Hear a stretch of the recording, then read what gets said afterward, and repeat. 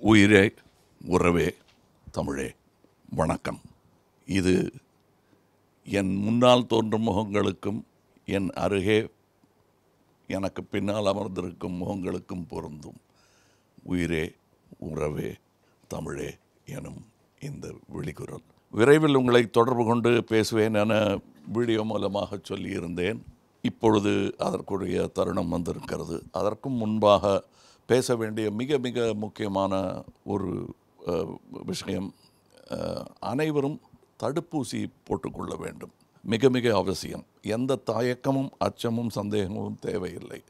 இது நாம் மிக முக்கியமான சமூக ப- பணிகள் பல செய்து கொண்டிருக்கிறீர்கள். அதுவும் இந்த நேரத்தில். அதற்கு உடல் ஆரோக்கியம் மிக மிக முக்கியம். உங்கள் ஆரோக்கியம் மிக முக்கியம்.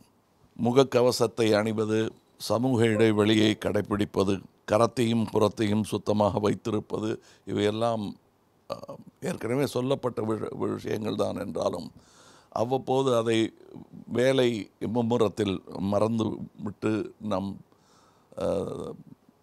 மக்கள் வே வேலை செய்வதை நான் பார்க்கிறேன். அவர்களின் நலன் கருதியே இந்த அறிவுரையை நான் சொல்ல முற்படுகிறேன்.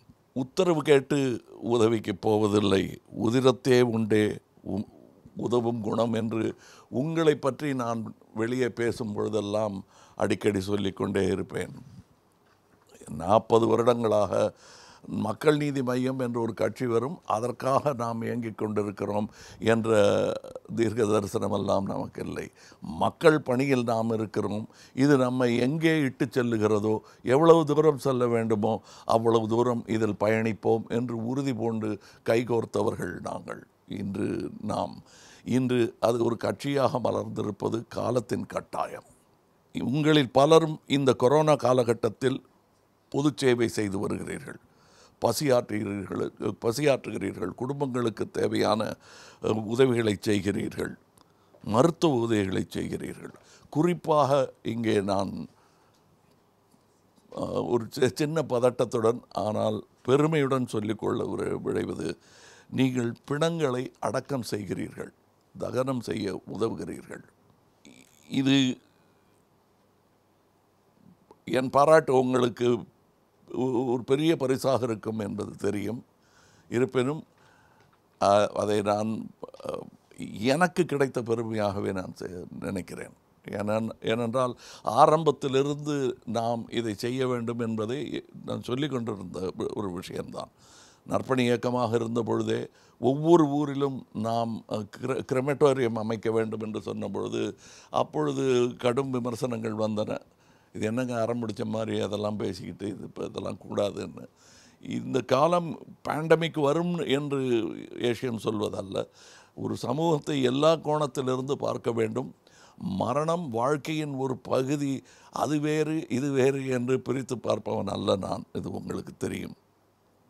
இந்த நேரத்தில் நமது ஆட்கள் ஆண் பெண் பால் வித்தியாசம் கூட இல்லாமல் இறங்கி வேலை செய்வதும் இந்த உடல்களுக்கு நல்லடக்கம் செய்ய உதவுவதும் எனக்கு பெரிய பெ- பெருமையாக உள்ளது. அவர்களுக்கு என் பாராட்டுக்கள்.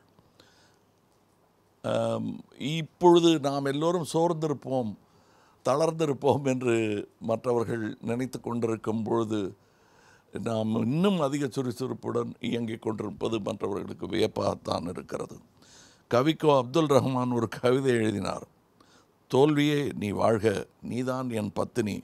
ஏனென்றால் உன்னை யாரும் சொந்த சொந்தம் கொண்டாட மாட்டார்கள். தோல்வியே நீதான் நான் சம்பாதிக்கும் பணம். அதை வைத்து வெற்றியை கூட வாங்கிவிடலாம் அல்லவா? என்று அவர் எழுதியிருந்தார். என்னுடைய நண்பர் வைரமுத்து வெற்றி விளையாட்டை பெருமை கொள்ளச் செய்கிறது தோல்வியோ விளையாட்டை புரிந்து கொள்ளச் செய்கிறது என்று எழுதியிருப்பார். நீங்களும் நானும் அரசியல் விளையாட்டிற்கு புதியவர்கள். ம- மேதாவைகள் போல் பாவனை செய் செய்ய வேண்டிய அவசியமில்லை. நாம் என்றும் கற்றுக்கொள்ள தயாராக இருக்கிறோம் என்பதை ஆரம்பத்திலிருந்து நான் சொல்லிக் கொண்டிருக்கிறேன். நான் அடுத்த மாநில முதல்வர்களை சந்திக்க சென்றபோது எதற்காக செல்கிறீர்கள்? என்று சொன்னபோது இ- இது எஜுகேஷனல் டூரிசம் என்று நான். பினராயி விஜயன் போ போன்றவர்கள் ஒரி ஒரிசா முதல்வர் அவர்கள் இவர்களை எல்லோரும் நான் சந்தித்தது அறிவுரை பெற்றுக்கொண்டது உதவியது என்றால் அது மிகையாகாது. இன்னமும் அது உதவுகிறது. அவர்கள் எனக்கு சொன்ன அறிவுரைகளை பின்பற்றாததால் சில பின்விளைவுகளை நான் அனுபவித்தேன் என்பதும் உண்மை. நாம் பாடங்கள் கற்க தயாராக இருக்கிறோம். When the going gets tough the tough get go uh, கோயிங்னு ஒரு ஆங்கில பழமொழி இருக்கு. நாம் கடினமான மனிதர்கள் உறுதிமிக்கவர்கள் என்பதை நிரூபித்து கொண்டிருக்கிறோம். இனியும் நிரூபிப்போம். இன்னொரு முக்கியமான விஷயம் கண்டிப்பாக நீங்கள்லாம் பெருமையாக சொல்லிக்கொள்ளக்கூடிய விஷயம். இது நிஜமும் நிகழும் அரசியலில் நிகழும் உண்மையும் தெரிந்தவர்கள் இதை போற்றுவார்கள் பாராட்டுவார்கள். அதற்கு தகுதியான ஒரு கட்சியாக மக்கள் நீதி மையம் வளர்ந்திருக்கிறது. கடந்த ஐம்பது ஆண்டு கால அரசியல் வரலாற்றில் ஓட்டுக்கு ஒரு பைசா கூட கொடுக்காமல் ஐம்பத்தி ஓராயிரத்தி நானூற்றி எண்பத்தி ஓரு வாக்குகளை பெற்ற முதல் அரசியல்வாதி எனும் பெருமையை முதல் சட்டமன்ற தேர்தலிலேயே நீங்கள் எனக்கு தேடி தந்திருக்கிறீர்கள். தென்னாப்பிரிக்காவில் அவர் சத்தியாகிரகத்திற்கு தயாராகி கொண்டிருந்த பொழுது அவருடைய உதவியாளர்கள் டர்பன் நகரத்தை சுற்றி பார்த்துவிட்டு நாங்கள் பார்த்ததில் நாற்பது சத்தியாகிரகி கூட தேர மாட்டார் போல் தெரிகிறது நீங்கள் பெரிய இயக்கமாக இதை பிரபலப்படுத்த நினைக்கிறீர்களே என்று சொன்ன பொழுது காந்தியார் சொன்னாராம். அந்த நாற்பது பேர் போதும். நீங்கள் சொல்லும் நாற்பது பேர் அவர்கள் உண்மையான சத்தியாகிரகிகளாக இருக்கும் பட்சத்தில் அவர்கள் விரைவில் நாற்பதுனாயிரமாக மாறுவார்கள் என்று அவர் சொன்னாராம். அதற்கு பிறகு நிகழ்ந்தது உலக சரித்திரம்.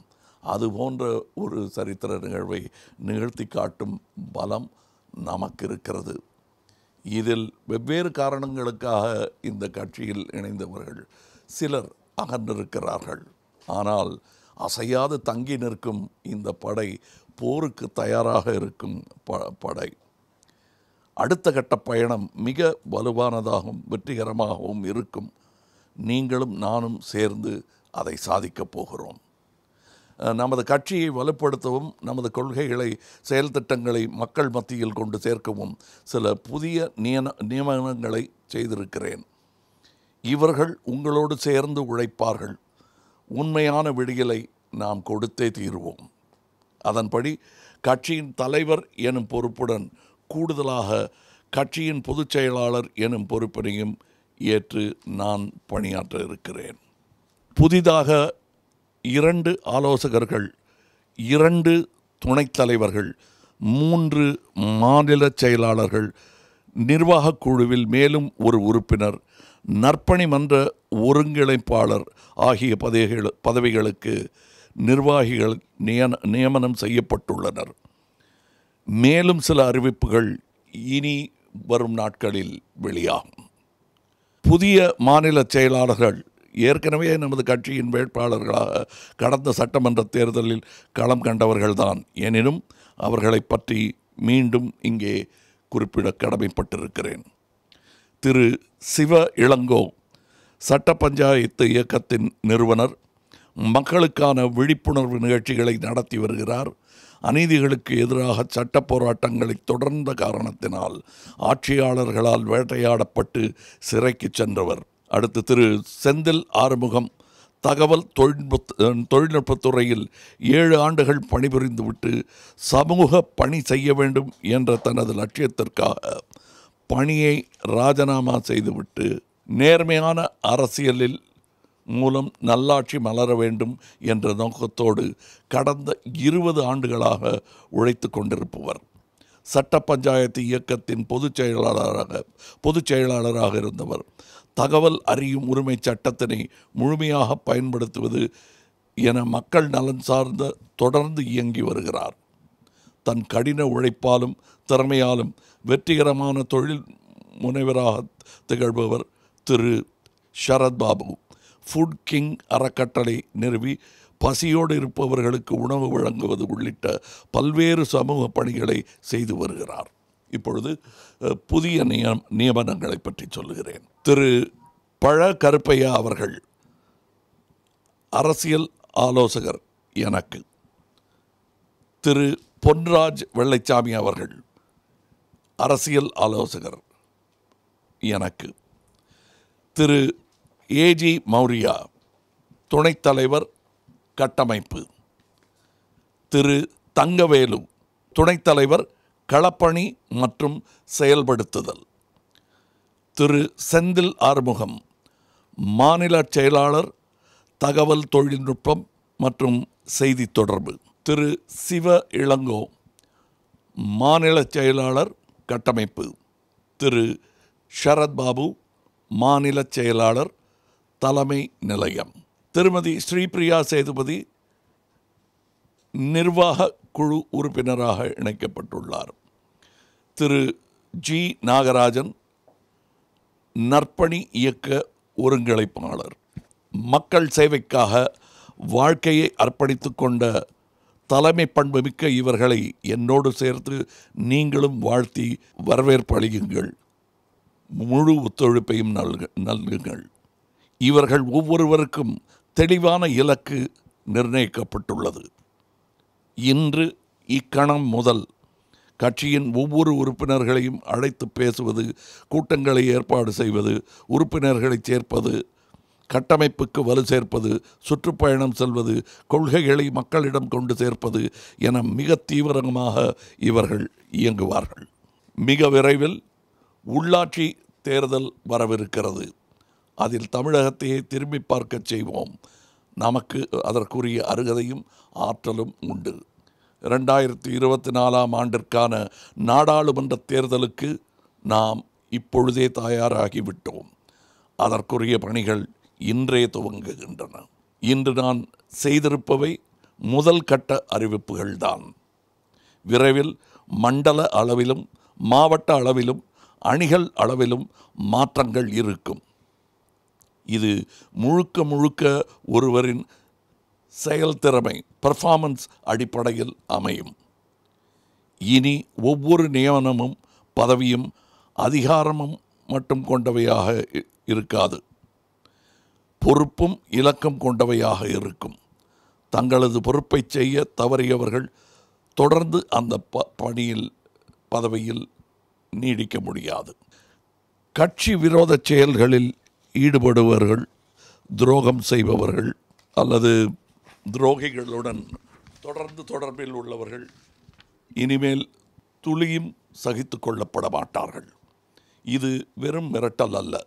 நம்மை படகாக்கி தங்கள் வாழ்க்கையை வளமாக்கிக் கொள்ள விரும்பும் சதிகளுக்கு இனிமேல் இங்கு இடமில்லை.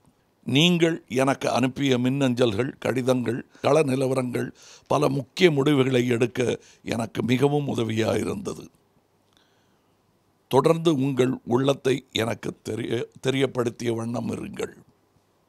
இன்றை வசமாக்குவோம். நாளை நமதாகும். வணக்கம்.